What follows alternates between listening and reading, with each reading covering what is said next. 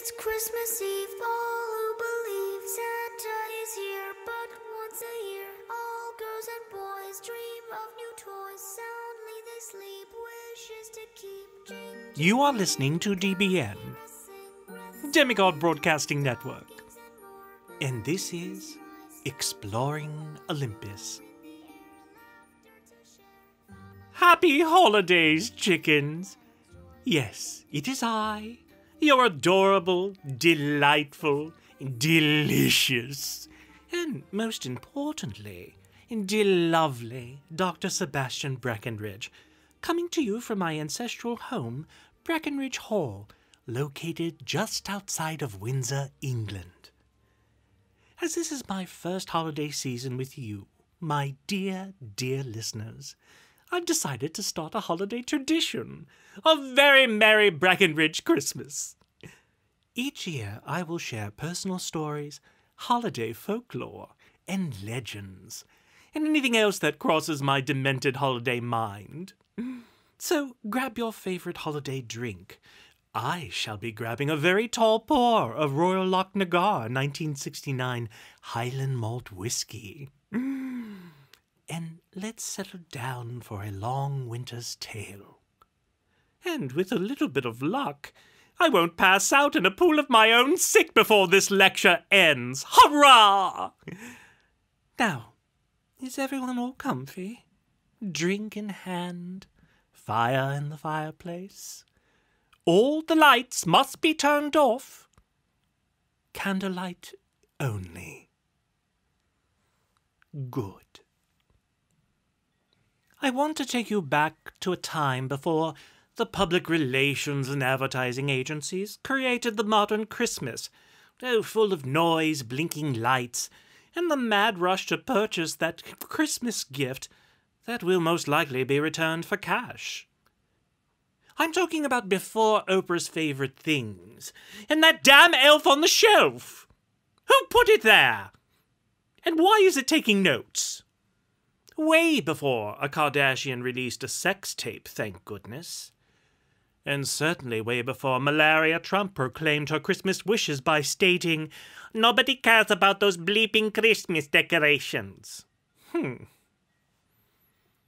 This was a time when Christmas was at its purest form, and the gift of an orange was indeed a treasure.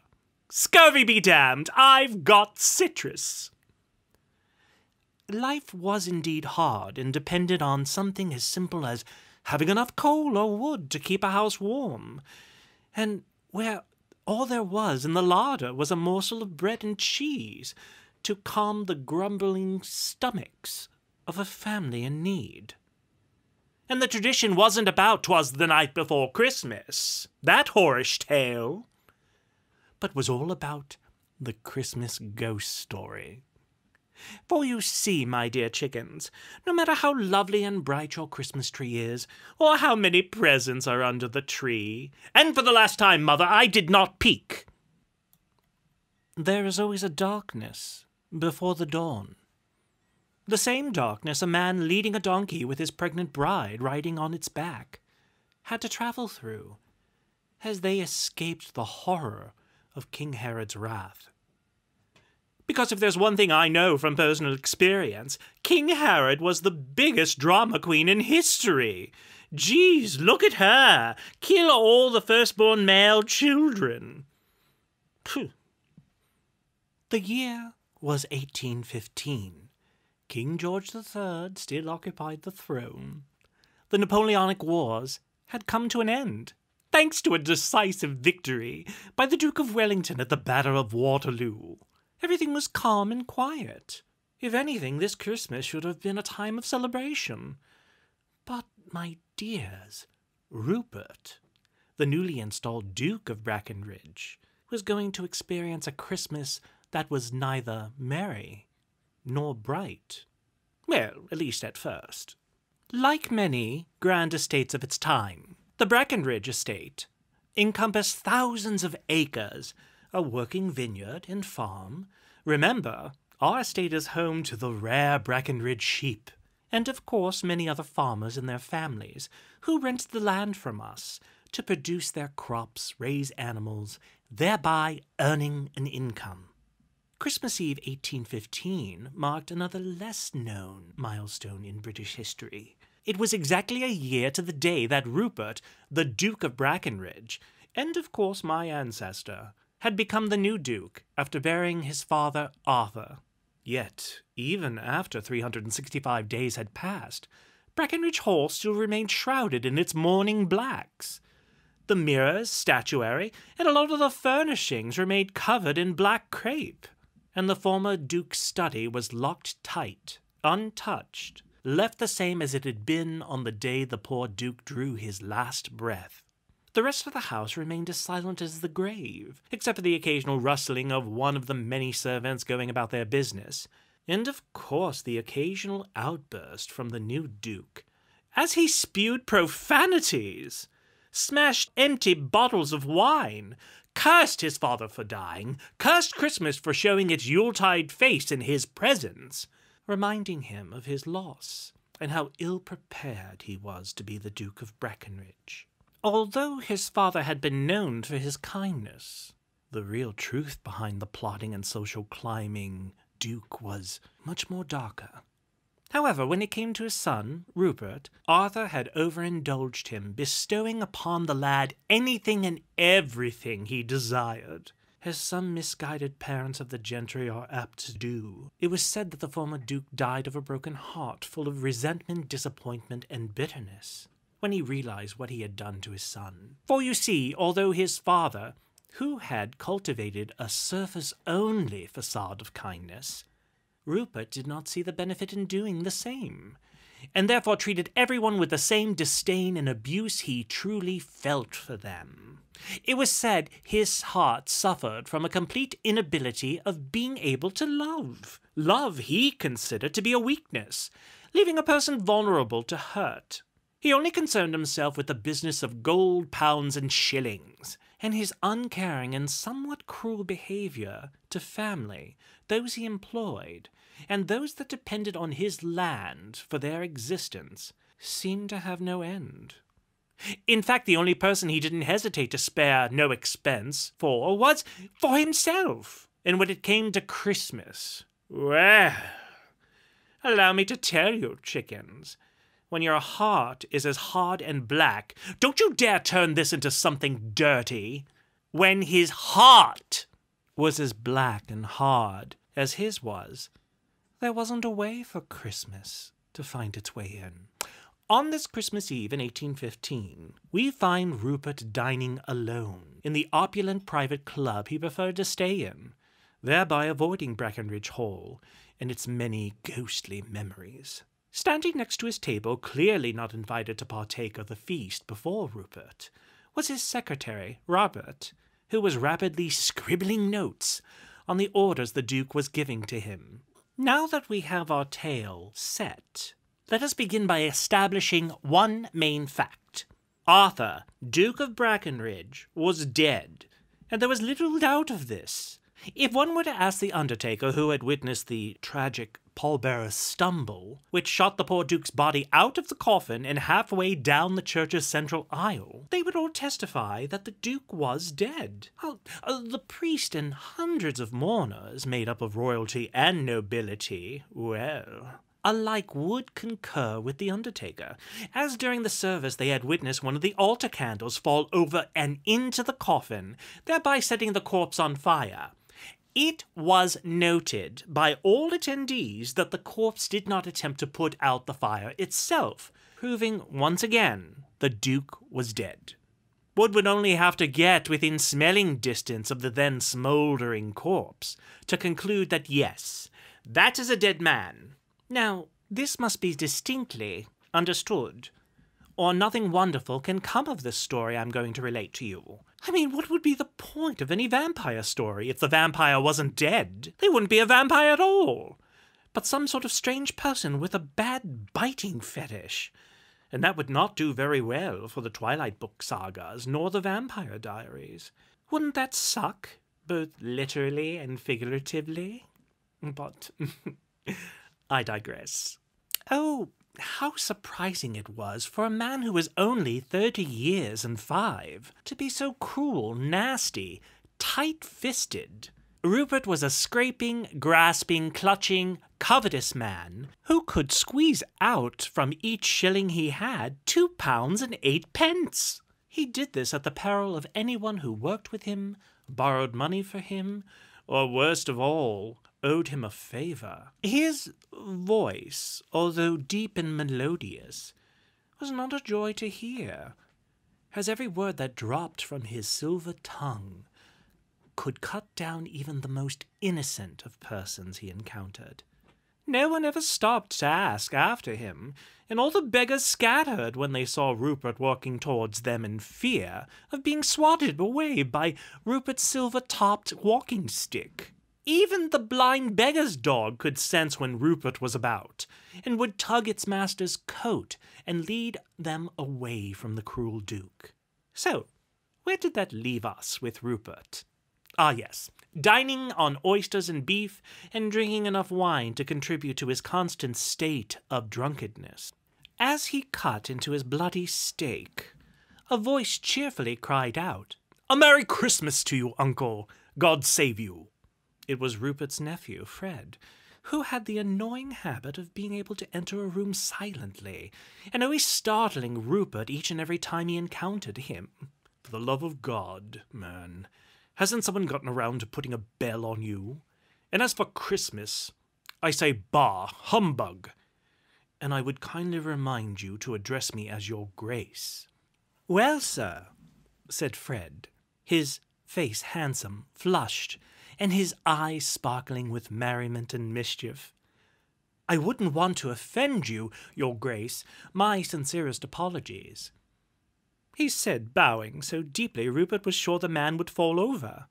Wait, did you say Christmas a humbug? Surely not, Your Grace. I do, said Rupert.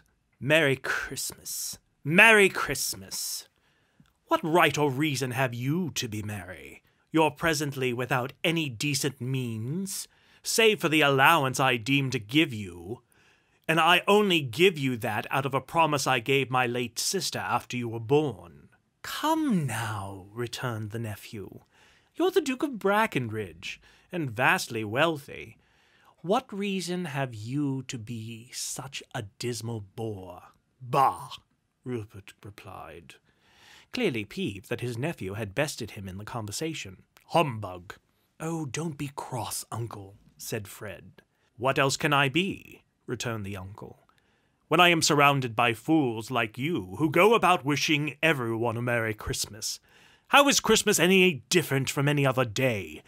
You still go about paying bills with my money, and the only thing to be gained by the end of the year is that you are one year older and not a second more richer. If I had my way, each and every person with Merry Christmas on his lips would be boiled with his own pudding and buried with a stake of holly through his heart. Uncle, pleaded Fred. Nephew, returned the Duke sternly. You do what you want with Christmas, and allow me the ability to pretend it doesn't exist. Fred, deeply hurt, replied, I would like to believe that there are many things I have done in my life that I have done without consideration of how it will benefit me, including celebrating Christmas. But I do know this for sure, dear uncle. It is this season that allows our fellow man to open up what was previously shuttered hearts and minds, to see the goodness in others that they have overlooked, reminding them that they are not alone in this life's journey. So, even though this spirit of goodness offers no profit into my pocket, I will embrace Christmas and rejoice in it. Truly moved and foolishly unable to contain himself, Robert dropped his papers and applauded. I was not aware that you were part of this conversation, Robert. So kindly remove yourself, or you may be celebrating Christmas unemployed. You'll be wanting tomorrow off to celebrate your Christmas, stealing from me without the decency to feel guilty for it. As you expect to be paid for a day of no work. The Duke threw the secretary's weekly earnings, a meagre fifteen shillings, at Robert. Embarrassed, the secretary picked up his wages and his papers and left. Don't be angry, uncle. Come, dine with us tomorrow. Why would I dine at your meagre table, when this club supplies me with everything I need? But why? Fred asked. You married too young, said Rupert. I fell in love. Good day, sir. You've always treated me with cruelty and disdain, even before I married. Why make that excuse? I said good day, shouted the Duke. I want nothing and ask for nothing. Why can't we be friends? Good day, said the Duke. I wish there was something I could do or say, for even though your dislike of me is clear, I do know of the love you held for my mother. May she. I told you never to speak of her! As you are the reason she is no longer here. Fred sucked in a breath, shocked. Your words are horribly cruel, uncle, and are a slap in the face of the memory of my late mother. But I will not lose hope in you, your grace.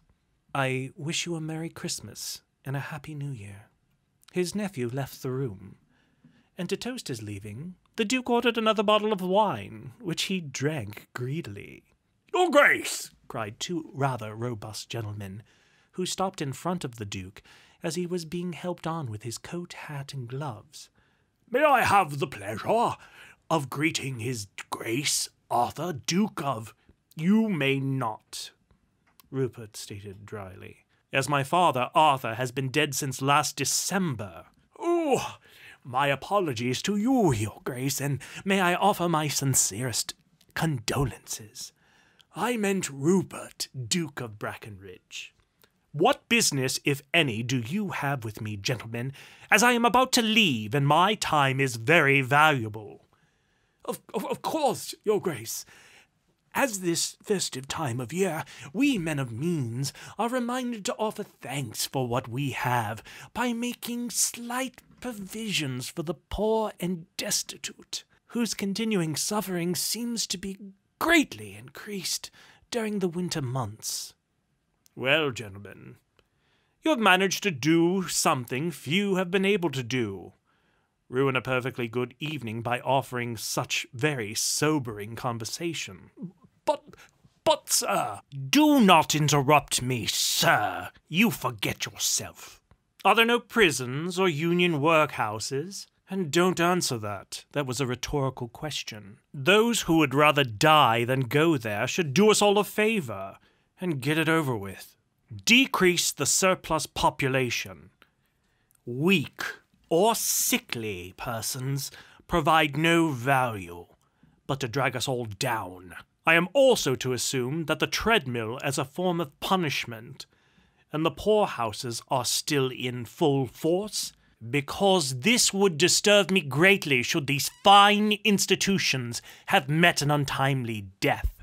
You may put me down for nothing, sir, as my taxes, which are great, pay for the before mentioned institutions.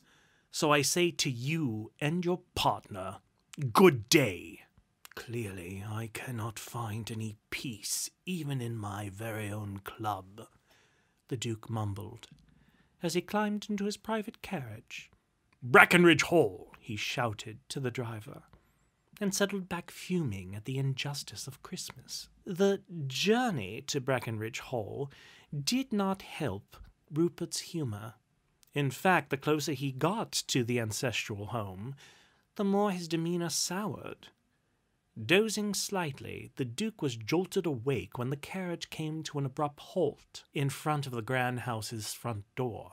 Without a word to the driver, Rupert stumbled out of the carriage and remained still until the carriage made its way to the stables. This miserable pile of rocks, the Duke commented as he looked upon his home. You are a millstone around my neck, pulling me down into deeper waters. He made his way towards the door, failing to notice the ice that had formed on the ground, and went headfirst into the door and its massive door knocker. Feeling a knot swell up on his forehead, the Duke rubbed it, glaring at the offending door knocker, but stopped short as he gazed upon it. Although somewhat a simple design, a lion's head, with teeth bared and a ring clenched in them. As a small child, he was often frightened by the blackened head, but it wasn't the blackened lion's head that greeted him, but rather it was the face of his father, glowing brightly and glaring down on him. Father? the Duke said, as he cowered from his father's gaze, closing his eyes against the vision. When his teeth began to chatter, and he felt quite foolish, Rupert opened his eyes and found the lion's head restored to its rightful place. A humbug indeed, Rupert muttered as he opened the door and stepped in, making sure to lock it behind him. Even in the best of times, Rupert disliked Brackenridge Hall, with its endless packages and darkened corners, historical significance, and ceaseless traditions associated with the house and being the Duke of Brackenridge. The house he faced this night felt dead, which was appropriate since Rupert thought of the place as a very large tomb. I am very drunk. Very very drunk, Rupert said, his words echoing back at him in the dimly lit entry hall, the only light coming from the massive stone fireplace that the main staircase wrapped around, almost resembling a serpent crushing the last breath out of its victim before swallowing it whole. Embers crackled, sending sparks into the air, shocking the Duke out of his drunken stupor long enough for him to pass out, fall to the floor, and piss himself. He woke up in his bedchambers a few minutes before midnight, stripped naked of his sodden clothes and dressed in his long nightshirt. The beginnings of what he knew would be a mind shattering headache began to throb, and he moaned while rubbing his temples. A moan answered back, and it was definitely not his moan. He knew his moan. It was a respectable moan.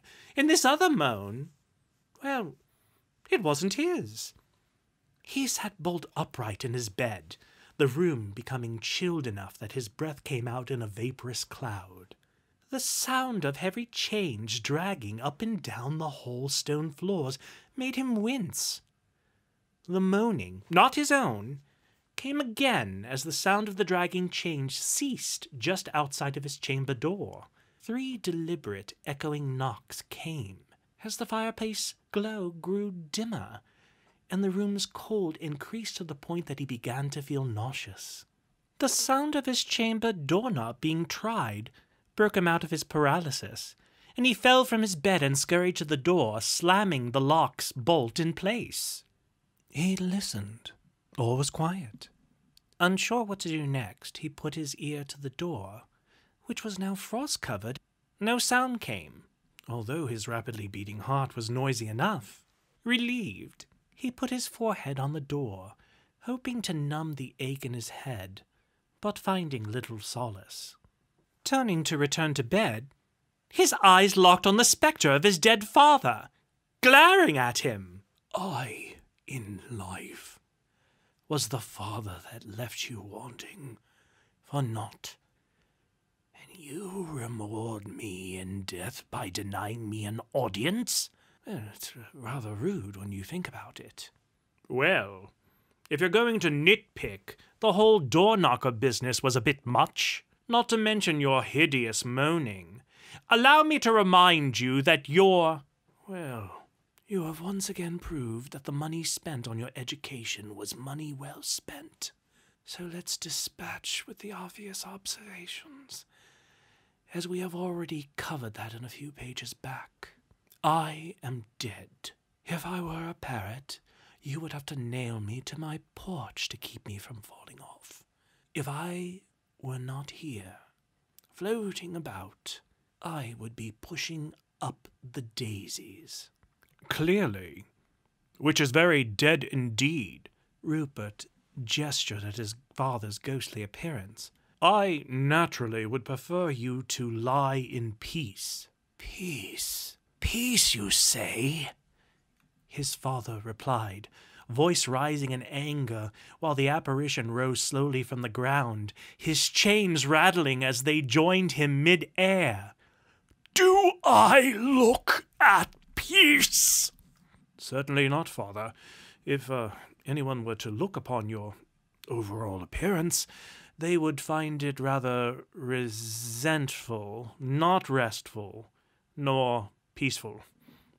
A bit dramatic, especially the way you strode your way across the boards in a somewhat Macbeth fashion.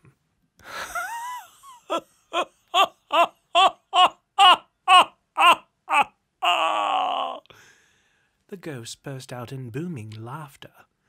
Oh, the utter cheek of you, my dear boy. The other cheek.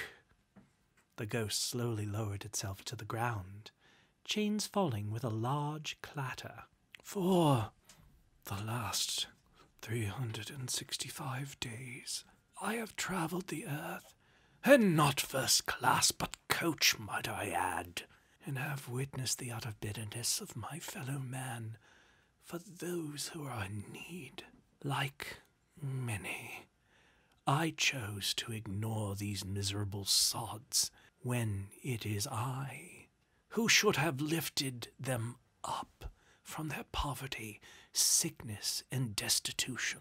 I and my fellow travelers, we get a group rate on British Airways, are damned to wander aimlessly and bear witness to all the suffering that exists in our world, unable to do anything about it.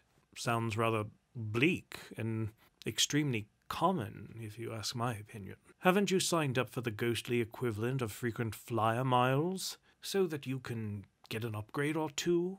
I did not come here to ask your opinion, boy. The chains slammed down in emphasis. Well, aren't you the bossy one still? Well, you're dead, and I don't have to listen, Rupert said. You hold your tongue, sir, for my time here grows short. Do you see this chain? This is the chain that tethers me to this spiritual plane of never ending suffering. Did it come in a little blue box? Standards, sir! We must have standards! A chain created from my failures and regrets, with you, my son, and those of my fellow man I should have helped and didn't. I forged each and every link of this chain myself, damned to drag it behind me as a reminder of what could have been and wasn't. Nobody said anything about DIY or crafts. Besides, you were always generous of nature. Generous? bah! More like foolish and vain. I turned a blind eye to things that were difficult and required both thought and sacrifice for those that would provide me with instant gratification. And when it came to you, my boy, well, I gave you your heart's delight, forgetting my responsibilities to help nurture the man you could have been. Now, see here, sir.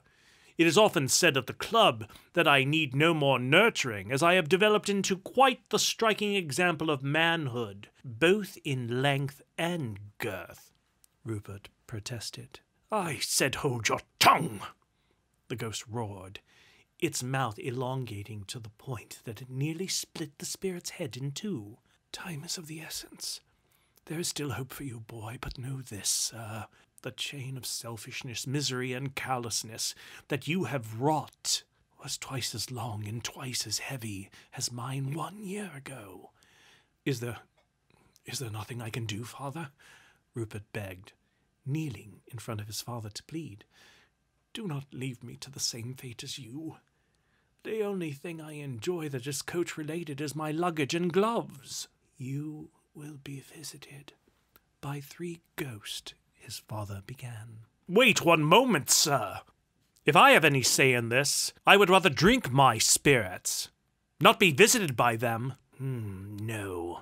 Granted, I'd rather not, sir. Perhaps there's some other way.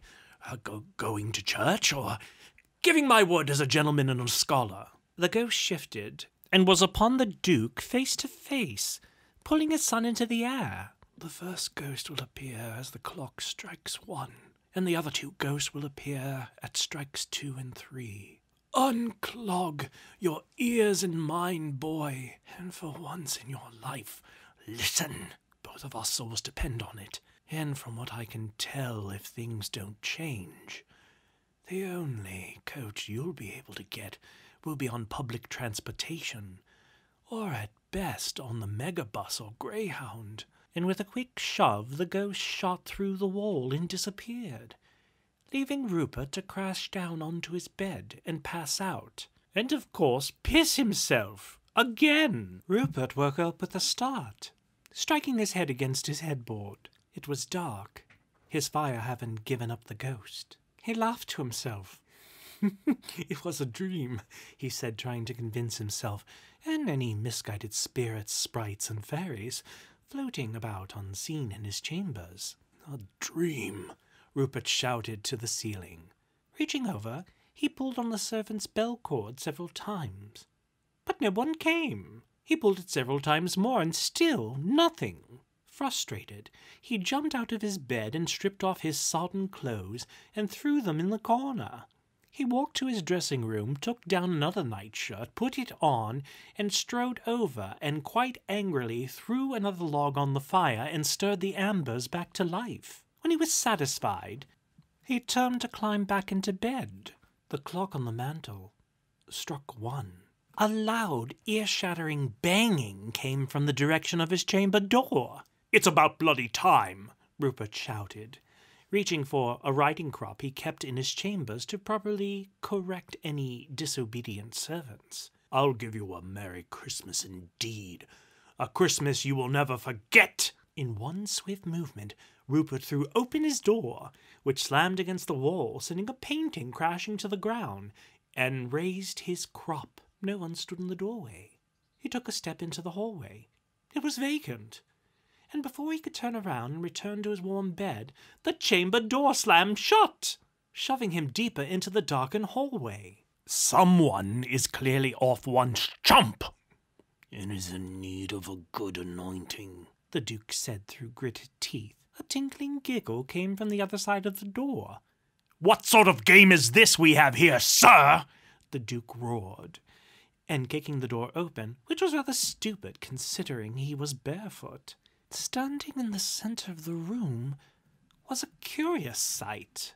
A rather tall woman of what appeared to be African origins. He changed his mind. It wasn't a woman, but a man. But then he changed it back, deciding to go with woman. The woman lay across a fainting couch in the center of his bedchamber.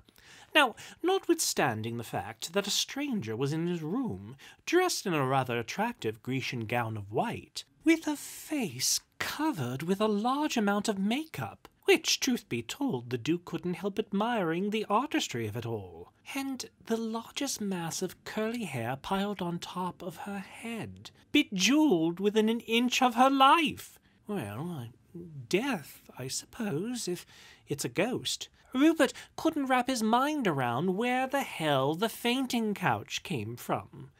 Do ghosts bring their own furniture when they go out to haunt? he wondered. And where were all of the twinkling lights showering down upon the apparition coming from? The Duke felt quite out of place without the customary rave glow sticks in his hand and dog tags around his neck. Oh my, the ghostly woman said, shifting both her hair and bosom to greater heights and size. Have you come to give me an unforgettable Christmas? I have been awfully naughty, and should be punished, the woman pouted. Rupert didn't know what to do or say, for he was held to the spot he stood in by his visitor's eyes. Or perhaps I have come to give you one. Pray tell your grace, is that a riding crop I spy? Mm. And, sir, it would appear you are well tented.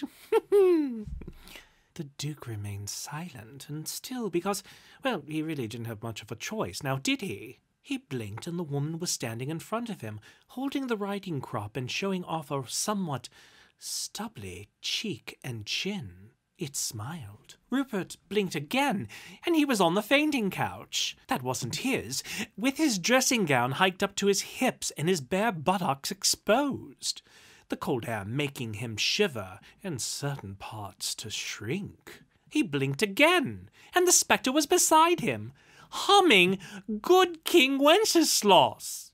No, my dear Duke, my time is here is short, which is a shame because I like to take my time emphasizing the importance of Christmas, peace on earth, goodwill to men, and blah blah blah blah blah. The Duke flinched as he felt the riding crop caressing his left buttock and even finding its way between them. So I'm going to have to make this portion of our time quick and dirty. Twenty five times the crop was raised and brought down upon the Duke's posterior, as the most disgusting vulgarities, some of which the Duke, who was a connoisseur of the filthy tongue, had never heard before. Sailors, longshoremen, and prostitutes would have blushed hearing even one fifth of what Rupert heard. And woven within the profanities were messages of what a wicked, wicked, naughty boy he was. The spirit had the decency to ask Rupert several times if he had had enough, which, after the Duke's reply of yes, the ghost screamed, No, you haven't. It was not enjoyable in the least. Well, maybe slightly during the first three blows, and Rupert has officially gone on record that even though the spirit kept telling him, This hurts me more than it hurts you, Rupert found that statement questionable at best, or an outright lie at worst. After the whipping had stopped, the spirit told him to clean himself up, for they had some travelling to do, and unfortunately he had pissed himself again. When he had changed into a travelling suit and coat, he said to the spirit who was patiently waiting for him, Are you the spirit, madam, whose coming was foretold to me? No. I'm the highest paid girly man from Mrs. Winslow's House of Pleasurable Coffee, which could be found just outside of Covent Garden. Re- the spirit stared back at Rupert, and with great suddenness blurred for a second as a blow hit the back of his head. Point taken, Rupert said, rubbing his head. I, the spirit said, spinning around and around as the twinkling lights that surrounded her grew brighter, am the ghost of Christmas past. Ta-da! The spirit stopped and posed with arms outstretched to its side. Who's past? Who do you think, King George's? The spirit spat back. Long past? The Duke asked. No, your past. My past? Past what? Christmas past, the woman said, growing irritated. Whose Christmas? The Duke asked, smirking. Your Christmas! My Christmas, the Duke said. Long past? Do you want me to get the riding crop out again? Rupert thought for a few seconds. No, I do not. Your Grace, I am here for your welfare. Very kind of you, Rupert said. But I don't believe I qualify for income or housing subsidies. Well, your reclamation, then, the spirit spat out, and then gathering herself into a very serious manner, the spirit dramatically delivered her invitation that Rupert believed wouldn't receive a nomination, let alone an Olivier Award.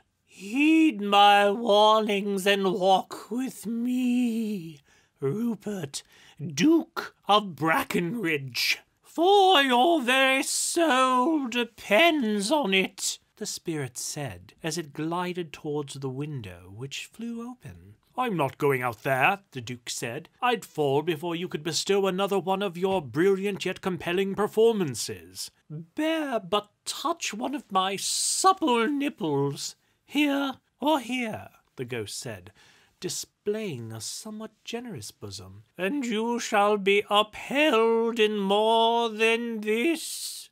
Shrugging as he did so, Rupert grabbed the right breast, and his feet lifted off the floor. What sort of breaths are these? They're as hard as rocks, the Duke stated, wondering how could they be so unforgiving. Bird seed, the ghost replied. What?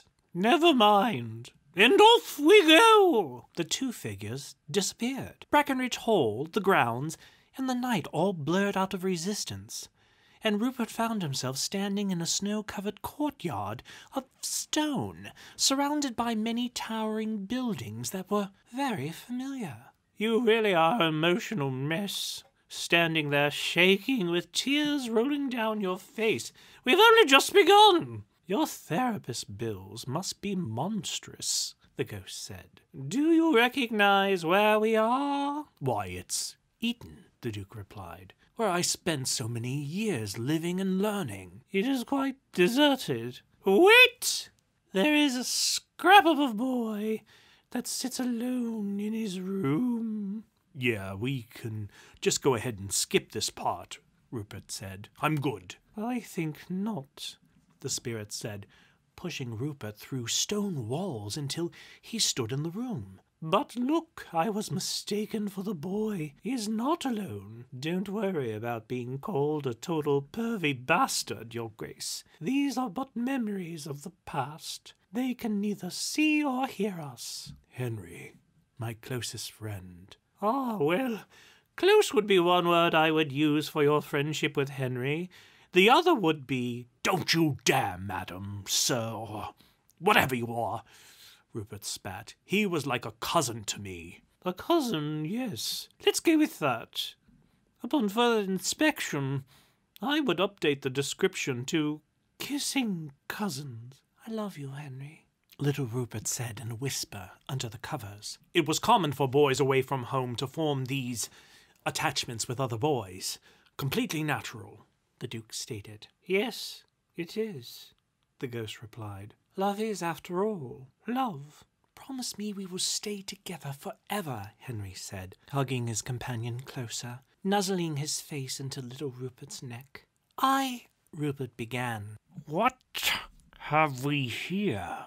A voice boomed over the two huddled figures. Couple of sodomites. Ripping the covers off the two boys and exposing their nakedness, the housemaster grabbed the boy, Rupert, and sent him flying across the room. I shall have the headmaster contact both of your fathers, whom I will sure will rip out these notions of sodomy out of your minds. Shaking, Henry spoke up. It was Rupert. He forced himself on me. He was. He said he would see that my family were destroyed if I told you. The Duke let out a wail. Why must you show me these things? The Duke's younger self sobbing equally, barely able to speak. Is it true? The housemaster asked. Are you a sodomite, Rupert? The young Rupert looked at Henry, noticing the pleading in his eyes. He remembered how, on several occasions, numerous bruises had covered Henry's body because of his father's cruel nature. Yes, the young Rupert said, his heart shattering with each word. It was me. I forced him. Henry, get dressed. Henry did so, as the housemaster grabbed Rupert off the floor and bent him over the bed. I believe some immediate attention is needed for this situation, the housemaster said, grabbing the birch rod he always carried with him. You will thank me when you are older for my generous nature. Henry stood up to leave. Where do you think you're going, boy? You will learn by watching on the dangers of giving into filth like Rupert. If you turn your eyes away, your punishment will be worse by twofold. You didn't deserve this, the ghost said, watching the tears slide down the Duke's face. You were betrayed, and still you held your tongue. Yes, I. I did it for Henry's sake, but I deserved it because I dared to love someone. I was stupid, vulnerable. This was my reward. No, love is love. It is pure. Bah! Rupert said. And what has pure love gotten this younger self? Kicked out of Eton? And a sore ass? No. I think I learned my lesson that love is for fools. The room blurred, and the scene changed to a now dressed Rupert, standing alone, looking expectantly out the window. Standing alone? the spirit said. What choice did I have? Rupert said. Sitting was out of the question. The pain was unbearable. I had just managed to stop the bleeding. A figure rushed towards the young man, the sight causing additional tears to fall from the unseen Duke's eyes.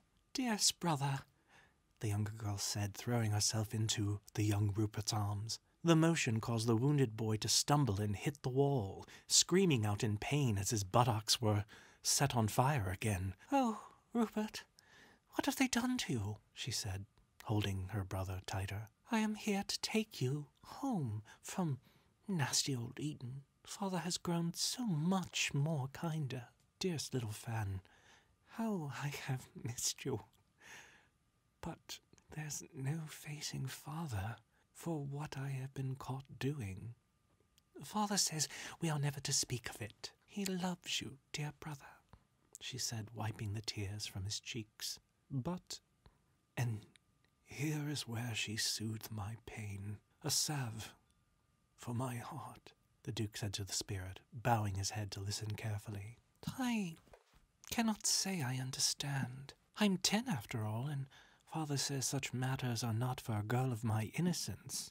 Although I think Father is a bit silly when you think about it. The girl snuggled closer to her brother. But I know this.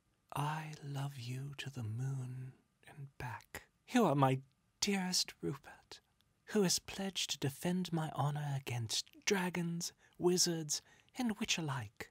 I love you more than my favorite garden pixies. The boy Rupert laughed. Oh, no, not, the pixies. I wouldn't tell them about this deep love you have for me, because they are jealous and incredibly vain creatures. But your secret is safe with me, beautiful Fan. I will love you, Rupert, for ever and ever. The Duke watched the two comforting each other as they walked away to the waiting carriage. Oh, always a delicate creature, and a bit needy in the attention department. Some might say slightly creepy with her somewhat adult manners. Like that one little girl that you always have to invite to your parties, because her parents know your parents. She's the one who collects the most disgusting things like pasture patties, and always had that one easy bake oven that never really bakes the cakes all the way through. Are you done? the Duke asked. Well, she was unusual, and so frail. A breath might have withered her, said the ghost. But she had a large and kind heart. So she had, cried Rupert. She was never meant for the cruelties of this world. She died a woman, said the ghost. And had children? One child, Rupert returned. True, said the ghost. Your nephew, Fred. Yes, Rupert mumbled. Well, better she went quickly. Those kind of people are such a burden on society, dragging us all down. Rupert winced and turned to reply, when in a blink Eton was gone, and they were in a vast barn. Do you know this place? the spirit asked. Know it? Rupert exclaimed. This is the barn located at Brackenridge Hall. My father had me spend numerous seasons here to understand the physical labors of the estate's main farm. But there was more to it, wasn't there? The spirit asked, slyly, gliding over to pet the nose of a brown and white mare. It's what his father had done to him and his father's father. The spirit held her hand up. Please, squirrel friend, you're not fooling anyone with this grand talk of tradition. He thought this would help you out with your condition. And I'll have you know that I'm using air quotes when referencing your condition. Well, yes, he, uh, he thought it would toughen me up and put thoughts of what happened at Eton out of my mind, Rupert said, petting a Brackenridge sheep that was quietly laying in its hay, drowsy with sleep. Oi, Rupert, are you done with the horse stalls? A voice called from the hayloft. Almost, a nineteen year old Rupert said, walking out of one of the stalls and putting his shovel and gloves aside. Well, Look at this young, strapping man you grew into. Mamma like, the spirit said. You're no better than a fishwife, Colin. Do this, do that. Sweat drenched, with hay and dirt clinging in all the right places to his clothes and face. Rupert looked up at the hayloft. I have half a mind to come up there and show you what for. Colin stepped forward into the light and looked down, smiling. Oh, I would like to see you try. Finally, the spirit remarked. Time for some man on man slap and tickle. How did that work out? Colin, the Duke said, letting out a slight sigh. I said, how did that? I heard you the first time, the Duke spat back. He was the most beautiful man I had ever seen. Tall, broad, handsome, and so kind. Yes, I bet your father was so incredibly pleased as you were lusting after the stable boy. I mean, good God, man, this is all playing out as some really bad romantic paperback at best. You certainly were toughening up. A real man's man, the spirit said. I resent that. It may be only the 19th century, but I refuse to allow you to try and force me to adapt to my father's or society's standards. We were two men discovering who we were.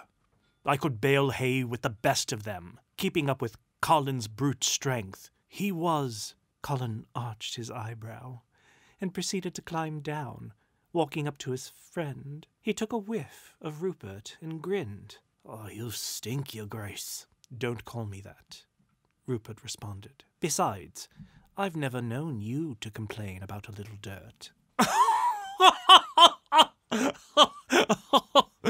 Colin laughed. That laugh, the Duke said to the spirit, would make me weak in the knees. Well, the ghost commented, glancing down at the young Rupert's trousers. Something stood up when he laughed and looked at you that way. And if I might be so bold as to say, Colin was a very lucky man. The Duke blushed. All Brackenridge men are known for their talent, the ghost offered. Well, Colin said, pulling out a few stray pieces of hay from Rupert's hair. You are you better get scrubbed up and dressed. Old Fezziwig will want you to be respectable. Hush, Rupert said. My father will have you bent over for fifty lashes if he hears you call him that. Oh, your grace, Colin called, stepping forward to greet Rupert's father, who had appeared in the doorway. Ah, Colin, my boy. I hope my son isn't making you do all the work. Hello, father, Rupert said. We were just getting ready to get cleaned up for the servants' ball. Yes, yes, it's always good to give back to those who serve. You've cleaned up the barn nicely. The staff will begin to set up. Colin, run along and become respectable. Oh, yes, your grace, Colin said, glancing quickly at Rupert. And Rupert, come to the house. A bath has been drawn for you. Of course you realize your father knew, the spirit offered. No, he didn't, the Duke said. Oh, yes, he did. But he loved you so much he turned a blind eye. He wanted you to be happy. Yes, happy, Rupert said. He was all about making others happy. I'm sure you jest. What did he do to make Colin and the other servants happy? Throw a little party, which cost him a few shillings here and there, have two men sweep away the horse shit, because the barn was the best he would do for this lot. The Duke grew flushed with colour. My father could have made the lives of those who worked for him on the estate a miserable hell. I've seen it happen one too many times with other estates. The joy he brought with this single event, a poor excuse for a party if you ask me, the ghost commented. One step above deli meat and cheese and crackers, punch, and jello salad. What, what's jello salad? Never mind, the ghost responded, wanting to change the subject. He made them feel seen and appreciated, the Duke injected. Now who is lying to who, sir? For the briefest of moments your father floated down from his pedestal to throw a party in a barn. just so he could show that he was a forward thinking man. This wasn't generosity, sir. It was public relations. Don't want your food spat on? Throw a crumb every now and then to those who cook and serve it. He thought this was a waste, but a necessary evil. That wasn't the point, the Duke said. And before he could finish his thought, the room had changed again, now filled with servants from the estate enjoying food, drink, and the fiddler, who was playing a very merry little jig. The Duke and the ghost watched as the revellers enjoyed themselves. You really didn't enjoy these parties, the ghost said, pointing to the young Rupert, who stood alone, leaning against one of the horse stalls. It was difficult to enjoy when you were caught between two worlds. I uh, was the Duke's son, and yet I worked in the stables, among the grooms and such. Difficult to strike the right balance is what my father would always warn me about. Oh, yes. Mustn't let them believe they are equal to you, Colin rejoined Rupert, cleaned up wearing his Sunday best, the waistcoat barely fitting and containing the horseman's broad frame. Ah, oh, Mr. Brackenridge, seems like this party bores you, Colin said, stepping in front of Rupert. Well, boring is such a harsh term, my good man. I'd prefer to say that there are other things I'd rather be doing. Well, perhaps I have a better idea. How about some whiskey in the loft? That sounds more to my high-born taste. Lead the way, my most excellent friend. I've seen enough spirit, the Duke said dryly. I want you to know I hear you and acknowledge your feelings on this matter, and I am choosing to ignore them, the ghost said. Let us follow them. The Duke blinked, and the barn melted away, and a memory he never could quite forget came into focus. Not a suitable room for the likes of the future Duke, I'd say, the spirit commented. And you seem to spend a lot of time up here.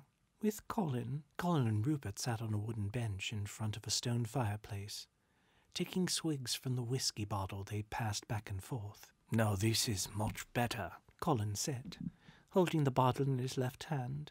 Good whiskey! He held up the bottle. A suitable bench! He banged on the bench. A warm fire! He grabbed his poker and adjusted the logs. And a very good friend. Colin reached over, putting his arm around Rupert's neck, and pulled him closer. Yes, very good company, Rupert said, following suit, and putting his arm around Colin's waist. The two men looked at each other, unable to decide what to do next. You're in love with him, the spirit said. Yes, replied the Duke. He meant the world to me, and was my friend. I loved him dearly. The young Rupert leaned over and rested his head on Colin's shoulder, breathing in the clean scent of his friend. In return, Colin kissed the top of Rupert's head tenderly. Your relationship progressed for quite some time. You spending more and more time in the loft with Colin, sneaking out of your chambers at night. The Duke smiled at the two young men on the bench. Yes, he was the very air I breathed. When he smiled, it was like the sun was shining down upon me. He was my first lover. Not a day would go by when I didn't ache for him. The scene changed, finding the two men asleep in each other's arms. In Colin's bed. It was bliss, the Duke said to the spirit. Until it changed, the spirit said, turning the Duke away to another scene. Please, spirit, no, no more of this. Ah, when have you had any say in tonight's event? Oh, that's right. Never. But my time is almost done, and we have one final memory to explore. I know what it is, and I wish not to relive it. The young Rupert jumped off the mare he was riding and walked it to its stall. Oi, Rupert! It's been some time since I've seen you. Rupert glanced up both awkward and irritated to be taken by surprise. Oh, Colin, my uh, father has me focusing on other, more important estate matters that require my full attention. I really haven't had the time. Oh, I see. completely understand. Uh, pardon my abruptness, sir, Colin said, pain and anger coloring his cheeks. My uh, father felt I needed to be among my own kind. I'm sure you understand.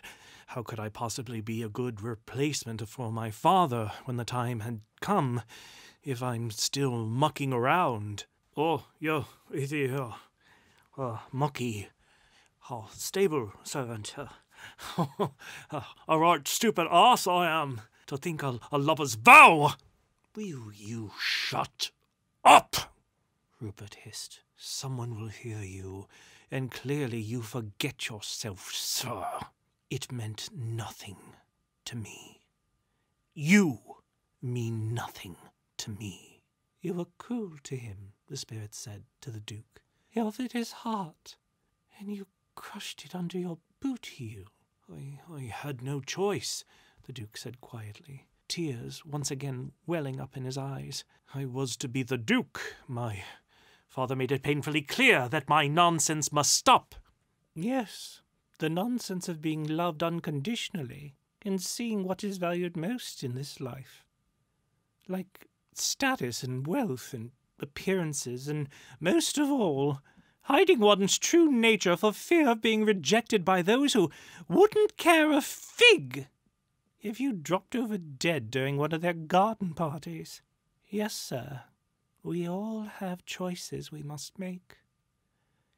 Accepting the card you are dealt is one thing, but your cruelty must have been your parting gift to someone who deeply loved you and had given you such happiness. If that is your reward, sir, for those who dared to love you, I greatly pity your enemies. Oh, yeah, I, um, I, I, uh, I, I, well, Colin said, wiping tears away from his eyes with the back of his hand, leaving streaks of mud on his damp face. Yeah, we, uh, we should do this, uh, uh properly. Oh, although it, it clearly means nothing, nothing to you. I release you. When you made that vow to me, we were, uh, yeah, we were di- different people.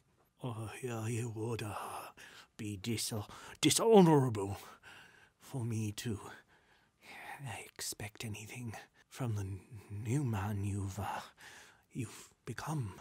You've chucked me away and replaced me with uh with uh, uh with with wealth and the state and title. and So I, uh, I, I wish you all, all, all the happiness you uh, may create in uh, all this life. I'm not ashamed to admit that I will continue to pray for you, for, for you every night, sir, as I ask to God keep you safe and bless you and, and, and yours. The Duke stood there, weeping, with his hands covering his face. Naturally, it was what Colin deserved, the spirit said coldly. He clearly forgot himself. After things quieted down, it was most honourable of your father to give Colin the flogging he deserved for his impertinence. Your father saw to that. Your actions, your grace, carry consequences that are suffered upon the innocent. No! That's a lie. My father wouldn't. Rupert turned to berate the spirit. But he was alone, in his chambers, back at Brackenridge Hall. That is a lie! Rupert yelled into the darkness. Come back here and face me, spirit. It can't be. Please, tell me it isn't true. Rupert fell to the ground in a faint.